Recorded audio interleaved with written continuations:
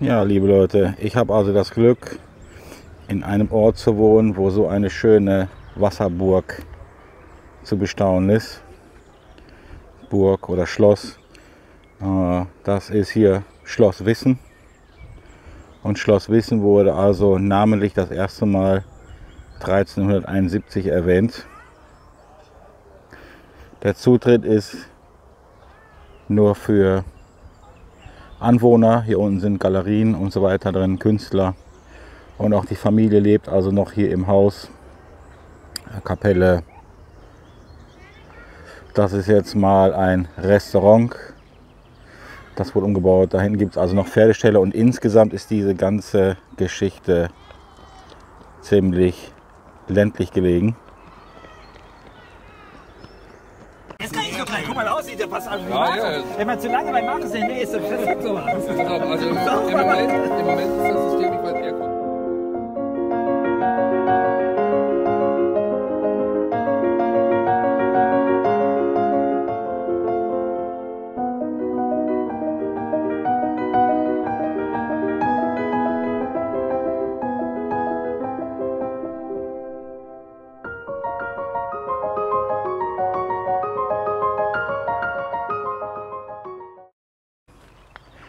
Wie finde ich meine Spots und wie finde ich etwas über meine Gegend heraus, die Historie. Wo finde ich also schöne Spots zum Suchen? Äh, wie bekomme ich also Informationen, wenn Zeitzeugen nicht mehr da sind? Dann gibt es halt technische Hilfsmittel.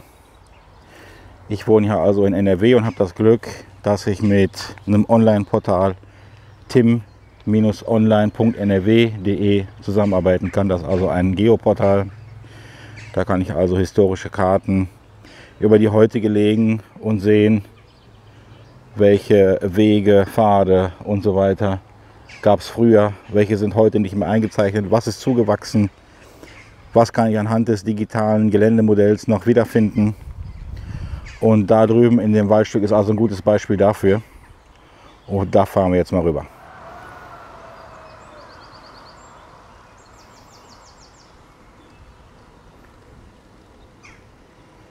Und jetzt stellt euch einfach vor, hier gäbe es keine Straße, sondern nur einen Schotterweg oder vielleicht Kopfsteinpflaster und keine Autos im Hintergrund, sondern Pferde vor dem Fuhrwerk und vielleicht hört man den Schmied gerade Hufeisen anschlagen. Das sind ganz tolle Orte. Und ich bin immer froh, wenn man das besuchen darf so und wenn das soweit öffentlich zugänglich ist. Die Atmosphäre ist also super. Das hier ist ein ehemaliger Stall, eine Pferdestallung. Und jetzt guckt euch das mal an. Der Wahnsinn.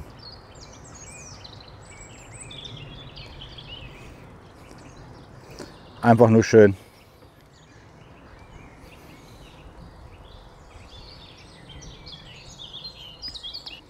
So, hier kommt eine schöne alte Brücke.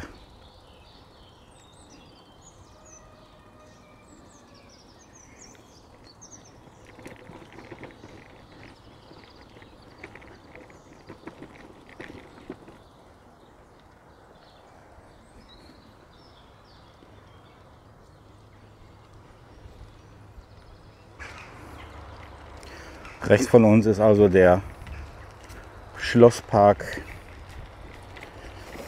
Und das wird natürlich unheimlich kitzeln, da mal mit der Sonne durchzuschwenken. Über die Jahrhunderte werden da wohl viele Kinder gespielt haben und ihre kleinen Schätze in Form von Spielfiguren und Münzen und naja, was man als Kind ebenso als Schatz angesehen hat. Ja, man muss sich ja also ganz schön durch die Wildnis schlagen, damit man was zu sehen bekommt. Und würde man jetzt auf den offiziellen Wegen laufen, würde es man wahrscheinlich nicht finden. Und das hier ist so ein kleiner versteckter Weg. So, und zwar Wenn wir jetzt in die Richtung blicken, durch die Bäume durch, kann man natürlich nicht sehen, aber da steht das Schloss, an dem wir gerade waren. Und dieser, dieses Schloss hatte früher mal einen Eiskeller. Wie alt der jetzt ist, das weiß ich nicht. Jedenfalls der Eiskeller, der existiert noch, aber nicht mehr als Eiskeller, sondern als Ruine. Und der wurde früher also auch von der Wehrmacht benutzt als Stellung, Unterschlupf, wie auch immer, ich kann es nicht genau sagen. Und ich hatte mich also hier mit einem pensionierten Polizisten unterhalten und der sagte eben, dass er als Fünfjähriger hier schon gespielt hat und dass das seitdem unverändert ist. Unverändert bedeutet, also erstmal ist hier wirklich außer Wald nichts. Hier gibt es also keinen echten Zuweg, nur halt ringsherum diese dicken Stämme. So. Und vor uns sieht man also den Hügel. Der liegt jetzt einmal das ist schon ein großes Ding. Die Stämme sind relativ dick. Und man sieht auch die Wurzeln. Die sind also extrem ausgeschlagen, um einfach ihren Hals zu bekommen, um diese, dieses Gewicht aufzufangen über die Jahre. So, schon wieder viel zu viel über andere Sachen gequatscht, weswegen wir gar nicht hier sind. So. Und der Eiskeller selber ist auch so gar nicht ausgeschrieben. Man kann also jetzt nicht nach Weze kommen und sagen, ja, da steht er auf dem Schild, da fahren wir jetzt mal hin. Nein. Den Eiskeller habe ich nämlich über das Geoportal gefunden. Ist bekannt über Geocage zum Beispiel. So. Man sieht also hier noch das alte Gewölbe. Und da oben ist halt so ein Geocage drin. So, man sieht die kleine Box da unten. So, wenn ich jetzt hier unten drin stehe, obwohl es eigentlich offen ist und so weiter, man merkt, dass das feucht kalt ist, aber es ist kühl, sehr kühl. Und wir haben gerade aktuell 32, 33 Grad hier bei mir. Also ich könnte mir vorstellen, dass das Ding schon ordentlich kühl gehalten hat. Schön anzusehen. So. Jedenfalls, das Ding habe ich hier so gefunden. Und zwar über eben Tim Online. Und damit habe ich noch ganz andere Sachen gefunden. Und ich wollte jetzt einfach erklären, wie gehe ich vor, wenn ich bestimmte Spots suchen möchte. Ähm, und wie gehe ich zum Beispiel auf dem Acker vor. Das finde ich also auch raus, indem ich zum Beispiel alte äh, Handelswege äh, finde, die man heute aber auf der aktuellen Karte nicht mehr sehen kann, die man einfach über gewisse Tricks finden kann. Und was ich äh, euch gleich zeige, ist halt auch über diese Schummerung gefunden worden. Diese Wege sind also nicht mehr eingezeichnet und die sind auch sehr zugewachsen. Aber äh, ja, in den nächsten Aufnahmen werdet ihr. So, jetzt sind wir auf der anderen Seite vom Waldstück. Ungefähr in die Richtung ist der Eiskeller, wie eben gezeigt. Und hier geht ein schöner langer Schotterweg lang. So, der zieht sich ein ganzes Stück. Und der Weg ist auch offiziell eingezeichnet in der Karte, genauso wie dieser kleine hier, der ist also auch offiziell eingezeichnet. So, das ist so ein Seitenweg, den erkläre ich euch später an der, anhand der Karte am Computer. Und ja, leider waren hier die Forstarbeiter und haben hier alles rummelig gemacht. Jetzt ist es natürlich ein bisschen schwierig hier mit Kamera und Fahrrad hier durchzustapfen. Aber das kriegen wir schon hin. So. Und soweit fällt erstmal gar nichts auf. Wird man es also nicht wissen, würde man den Weg jetzt ganz easy langlaufen, vielleicht sogar meiden, weil er eben so zugewachsen ist. Und wirklich, wenn es also nur ein paar Leute wissen, aber offiziell ist das nie irgendwo angegeben, beschrieben, erklärt und so weiter. Das habe ich jetzt also tatsächlich anhand der Karten gefunden. Wie man sehen kann, der Weg ist total unauffällig, eben so ein Forstweg.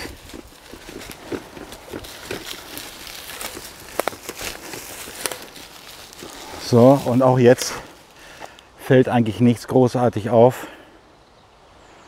Immer noch Weg. Wir laufen aber jetzt schon parallel zu dem Originalweg. Und zwar ist das hier ein Weg, der wurde später erst angelegt. Und der Original, der ist nämlich da drin. So, und jetzt versuche ich mal einen Einstieg zu finden.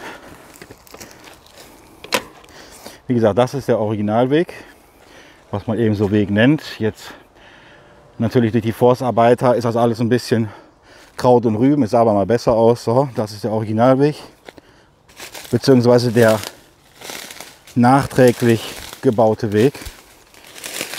So, und jetzt gehe ich für euch hier mit nackten Beine durch diese ganzen vertrockneten Dornen. Muss ja echt verrückt sein. So, wie auch immer. Jetzt wird es ganz interessant.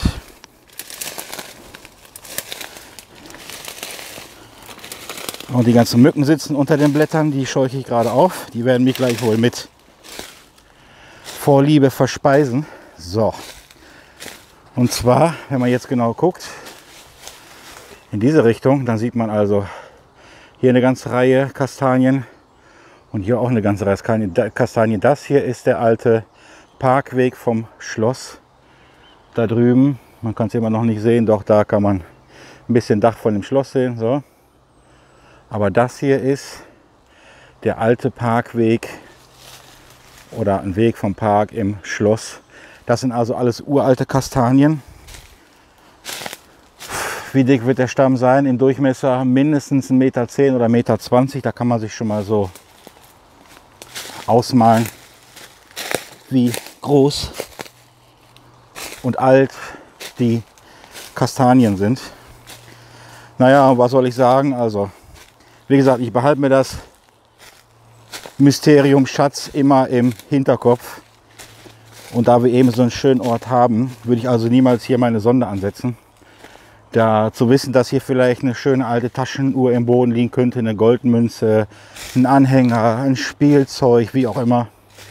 Das reizt mich viel zu sehr, als dass ich jetzt hier mit der Sonde alles durchsucht hätte und nachher finde ich dann doch nur eine alte Cola-Dose und irgendwelchen Schrott, den doch keiner haben wollte. Dann ist das ein bisschen, dann ist der Platz nicht mehr so zauberhaft für mich. Jedenfalls, ich weiß nicht, ob ihr es gut auf der Kamera erkennen könnt, aber das ist halt die alte Allee. Und auch die zeige ich euch gleich mal am Computer, wie die da aussieht auf der Schummerung, wo man also darauf achten sollte, wenn man solche Spots finden möchte. Ich würde den Weg so auf 6 Meter Breite schätzen. Und hier, ich sehe hier nicht ein einziges Steinchen, kein, keine Bebauung, kein überhaupt gar nichts. So, der nächste Weg ist halt, da ist so ein grüner Busch da. Und dahinter ist halt der Weg, der über die ganze Länge nach hinten hinführt, wie gezeigt. Also das Ding hier ist schon sehr lange unberührt. Und ja, so finde ich halt meine Spots.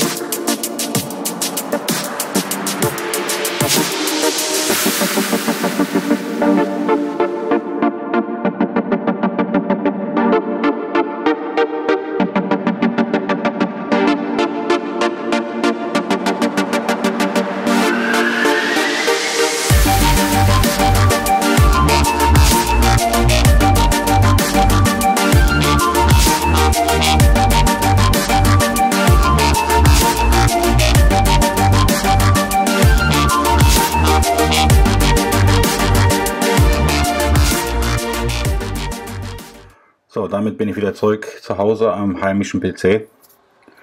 Und ich wollte euch jetzt mal zeigen, wie ich diesen Spot ausfindig gemacht habe. Ihr habt ja selber gesehen, das Schloss an sich ist also im Außenbereich frei zugänglich und ein Publikumsmagnet und da muss man ja, wenn man hier in der Ecke wohnt, einmal gewesen sein, um sich das anzugucken und wie gesagt, da äh, an der Niers selber, also der Fluss, der nebenher läuft, äh, da kann man also noch Kanu fahren und da gibt es einen Radweg, einen Nierswanderweg und viele Aktivitäten werden da also durchgeführt. Da gibt es einen äh, Freizeit- oder einen Wildcampingplatz und so weiter. Das ist also immer irgendwie was, äh, weswegen mal da in der Ecke zu Besuch ist und deshalb bin ich darauf gekommen. Und in NRW gibt es also ein Portal, ein Geoportal, das nennt sich Tim Online und äh, das gibt es für verschiedene äh, Länder auch. Allerdings nicht in dem Umfang wie für Nordrhein-Westfalen. Also was ich euch jetzt zeige, ist nur für Nordrhein-Westfalen. Dann gibt es noch ähm, für Bayern noch das Geoportal. Geoportal gibt es insgesamt, glaube ich, für jedes Bundesland. Äh, das könnt ihr mal eingeben oder machen wir gleich zusammen. Jedenfalls äh, der YouTuber PSO ist also auch ein Sondler und der zeigt dann ganz genau, wie es in Bayern funktioniert mit dem Bayern Atlas und mit dieser Schummerung, mit diesem 3D-Geländemodell DGM. Und jetzt gehen wir einfach mal hin und ich zeige euch jetzt einfach mal, wie ich es gefunden habe. Also oben tim-online.nrw.de. Funktioniert leider nur für NRW. Aber so erkläre ich euch mal die Herangehensweise.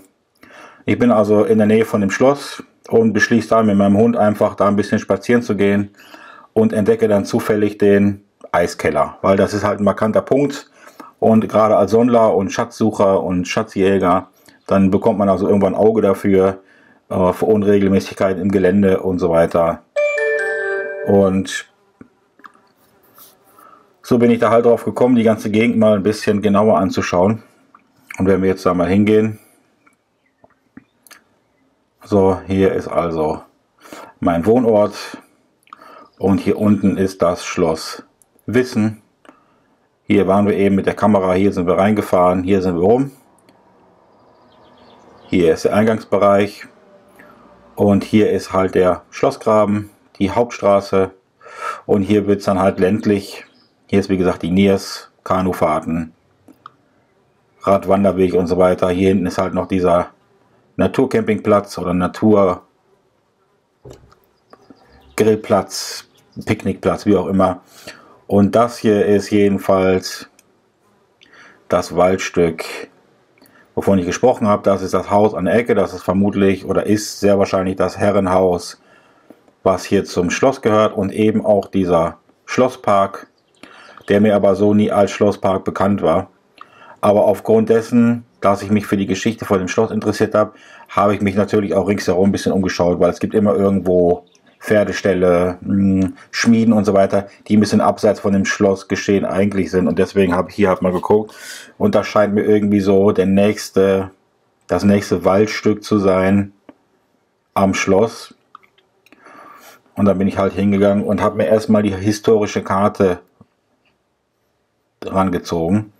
Und zwar, wenn ich eben auf T Tim Online bin, dann kann ich halt oben den Reiter öffnen und dann kann ich mir verschiedene Karten anzeigen lassen, unter anderem auch die historische Karte. Und wenn ich die jetzt mal öffne, dann kommen mir also verschiedene Karten mit verschiedenen Daten zum Vorschein. Und das hier scheint mir die älteste zu sein, die französische. Die klicke ich jetzt an.